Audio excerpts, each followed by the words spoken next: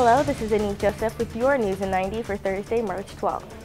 A former daycare driver is on probation after authorities say she left a three-year-old boy in a hot vehicle where he died. Deborah St. Charles originally faced up to 15 years in prison. She was sentenced 10 years probation Wednesday. Authorities say St. Charles left three-year-old Miles Hill in the hot daycare van for 12 hours.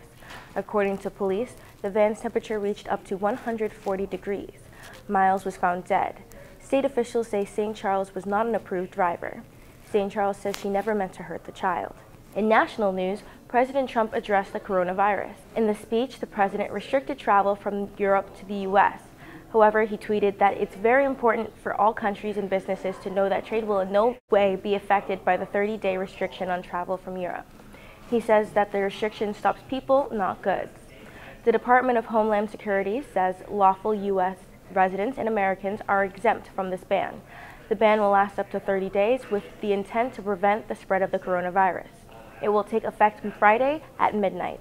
Trump says he will not ban travel from the United Kingdom. After the president's speech addressing the coronavirus, U.S. stocks rapidly declined. U.S. stocks are nearing bear market territory. The New York Stock Exchange was halted for 15 minutes on Thursday. Airline stock is taking a hit as well. Delta shares are down 13% and American Airlines shares are down 14%. That's your News in 90. I'm Anique Joseph, and don't forget your Florida news is always on on WUFT.org.